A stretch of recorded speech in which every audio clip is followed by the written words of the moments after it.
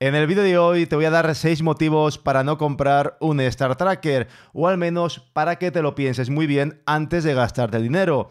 Y no estoy diciendo, ojo, que no recomiende tener un tracker, porque evidentemente es una herramienta muy útil, pero eso no quiere decir que para mucha gente, seguramente para una gran mayoría, pues quizás sea algo innecesario. Así que si estabas pensando en comprarte un MSM Nomad, un Benro Polaris, Skywatcher o cualquier otro similar, quédate en este vídeo porque te voy a contar 6 razones por las cuales quizá deberías pensártelo dos veces. Y en primer lugar vamos a hablar del precio, y es que aunque hay opciones para todos los bolsillos y necesidades, Está claro que es un nuevo desembolso y que si además tenéis en mente hacer panorámicas, tendréis que sumarle algún accesorio extra. Y es que incluso un tracker como este, el MSM Nomad, del cual ya os he compartido por cierto, bastantes tutoriales y que me encanta por su tamaño, por su fiabilidad y por su precio, pues ya son unos 230 dólares, a los cuales hay que sumarle accesorios si es que además vamos a hacer panorámicas nocturnas, sumando pues unos 350 dólares el total aproximadamente. Y no es un precio caro ni mucho menos, pero ya es un desembolso a tener en cuenta. Y si hablamos de opciones más avanzadas, como pueden ser monturas de Fornax, Optron, Skywatcher o el Benro Polaris, ya nos vamos a precios que son bastante más altos. Así que, aunque sea una herramienta que es fantástica, un tracker, pues no deja de ser un gasto que hay que valorar, especialmente si todavía estás empezando en fotografía nocturna y no tienes muy claras las cosas. En segundo lugar, el peso y el espacio, y es que quien haya hecho salidas de astrofotografía pues sabe perfectamente de lo que le hablo. Muchas veces vamos con la mochila hasta arriba completamente cargada con una o con dos cámaras, con varios objetivos, el trípode, las baterías, la linterna, el frontal, comida, de todo. Y llega el momento que hay que decidir si metemos o no este tracker. Y no digamos si es una salida de montaña, ¿qué dejo fuera? ¿El tracker o por el contrario esa lente que también me gusta? Y es que aunque el tracker más pequeño, como el MSM Nomad, de nuevo, pues no ocupe demasiado, hay que sumarle esos accesorios que os decía. La cuña ecuatorial, la rótula para poder montar lo que es la cámara con la placa en él, el rotador, y en algunos casos, pues también en trackers más avanzados, a lo mejor los contrapesos, y todo eso se nota.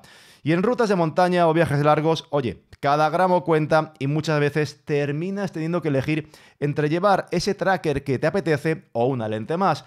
Y ahí es cuando uno se lo piensa dos veces. Y vamos con el tercer punto, la complejidad. Montar el tracker lleva su tiempo, tienes que nivelar el trípode, montar el tracker y realizar, por supuesto, un alineamiento correcto una vez colocado el equipo y comprobar que todo esté correctamente equilibrado. Y por supuesto luego desmontarlo y guardarlo todo en la mochila otra vez al final de la sesión. Todo eso lleva tiempo y además te obliga a reservar una buena parte de la noche solo para poder traquear, porque además está claro que si usas un tracker es porque esas fotos van a ser también más largas o bien vas a realizar apilados. Así que entre montar, ajustar y hacer las fotos, pues mínimo mínimo, en el caso más sencillo, te vas a ir a una hora u hora y media, incluso más, dependiendo de la sesión. Y eso nos lleva al siguiente punto. Cuarto motivo, y para mí el más importante de todos, menos variedad en tus salidas. Evidentemente, traquear lleva tiempo y eso hará que ese tiempo no lo dediques a hacer otras fotos, a probar más encuadres o a moverte por la localización y ver si das, oye, pues con alguna composición novedosa según cómo se sitúe la Vía Láctea en ese momento.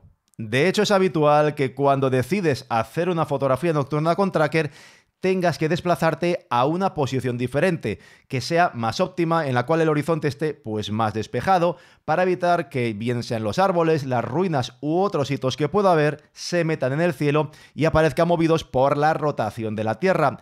Y todo esto implica evidentemente perder tiempo, moverte a otra posición, lo cual sumado a lo que ya hemos comentado antes, el montaje del equipo, fotos más largas, alinear todo, pues hacen que la sesión se alargue mucho para hacer ese cielo traqueado. En una salida puntual no pasa nada si solo vas a hacer una fotografía o dos fotos, puedes tomártelo con cierta calma, hacer primero la toma del suelo y luego ya te mueves a otro sitio para traquear si es necesario.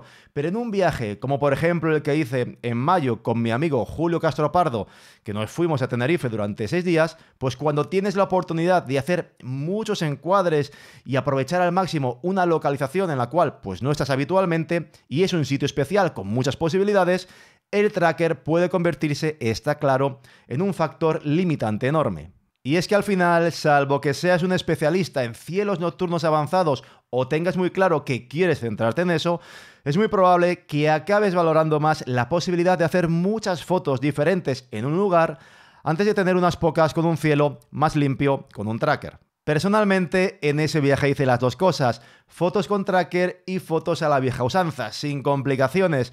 Y sinceramente, disfruté mucho más de las segundas. Y es que es tremendamente cómodo y además muy satisfactorio salir de casa con el equipo justo, sin accesorios complejos, sin tener que andar montando y desmontando y guardando todo en la mochila cada vez. Simplemente una cámara, una lente y una idea clara. Haces tu panorámica, una fila para el suelo y si es necesario otra para el cielo, según como esté la Vía Láctea en ese momento, pues a lo mejor con el mismo objetivo. Y en cuestión de minutos ya estás listo para moverte y buscar otro encuadre en función pues, de la posición de la Vía Láctea en ese instante del cielo. Así, sin estrés, sin esperas y disfrutando del momento. Y quinto motivo, el tema de los concursos. Esto quizá no le importa a todo el mundo y a mí la verdad, pues tampoco me preocupa demasiado, pero si eres de los que participa a menudo en concursos fotográficos, es algo que sí que debes tener muy en cuenta. Y es que muchas competiciones, de hecho diría que la mayoría, no aceptan fotografías que hayan sido realizadas a lo mejor con diferentes focales, con diferentes tiempos de exposición y no digamos ya que sean capturadas en sesiones diferentes, porque se consideran evidentemente manipuladas o no reales. Y es que a la hora de trabajar con tracker, fotos individuales o panorámicas, es muy habitual que se utilicen distintas focales, una para el suelo y otra más larga para el cielo, o te muevas entre tomas, como decía, para componer. Esto hace que aunque la imagen sea espectacular al final, no sea válida para ciertos certámenes que te exigen archivos RAW tomados exactamente desde el mismo punto y con los mismos parámetros de disparo. Así que según vuestro caso, pues quizá este también sea otro factor verdaderamente limitante y que sin duda deberíais considerar. Y podríamos añadir incluso un sexto punto, que es algo que muchas veces se pasa por alto. Si lo único que nos interesa es conseguir una vía láctea que sea más limpia, con menos ruido o con mejor detalle, no necesitamos sí o sí contar con un tracker, porque podemos lograr un resultado muy similar haciendo mismamente pues un apilado de fotografías, especialmente si utilizamos objetivos gran angulares.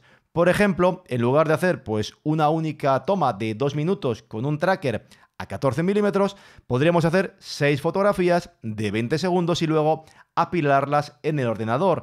El resultado final pues va a ser un cielo muy limpio, con menos ruido y mejor detalle, sin necesidad de complicarnos con el montaje o el alineado y comprar un Star Tracker. Para hacerlo además tenemos aplicaciones que son gratuitas y que son muy sencillas, como por ejemplo Sequator, que podemos utilizar directamente en Windows o incluso en Mac mediante algún software de emulación. Evidentemente, cuanto más cerrada o larga sea la focal, más pesado se puede volver este proceso, porque los tiempos de exposición cada vez van a ser más cortos y el número de tomas necesarias pues va a ir aumentando. Pero si trabajamos, como decía, con focales gran angulares entre 14 y 20 milímetros, no va a haber ningún problema. Va a ser muy sencillo conseguir resultados excelentes, simplemente apilando varias fotografías que hayamos realizado una detrás de otra, simulando lo que obtendríamos, como digo, con un tracker, con un paso extra, eso sí, en el procesado para apilarlo, pero sin tener que comprar nada.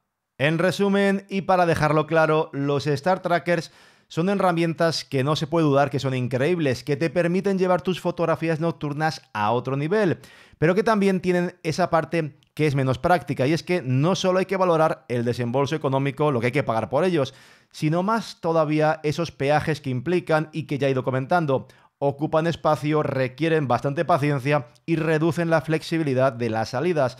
Así que antes de lanzarte a comprar uno, sea el que sea, piénsatelo bien, valora si realmente lo necesitas, si es que de verdad lo vas a aprovechar o simplemente te estás dejando llevar un poco por la moda o la idea de dar un paso más. A veces lo más simple sigue siendo lo que más disfrutamos y posiblemente lo que más recordaremos será esa felicidad de esas noches de fotografía, sin complicaciones, sin estrés, donde lo único que importaba era el cielo y la compañía. Pero si por el contrario lo tienes totalmente claro y deseas dar un paso adelante y quieres comprarte un tracker, oye, Te recomiendo que le eches un ojo a la lista de reproducción que te va a aparecer ahora mismo en pantalla. Es un curso completo, gratuito, de este tracker del MSM Nomad que me parece, sin lugar a dudas, el tracker ideal para toda aquella persona que quiera iniciarse en este mundillo. Y por supuesto, no olvides suscríbete al canal, dale al botón de suscribirte para no perderte ninguno de mis vídeos. Déjate en comentario un like y muchas gracias por verme.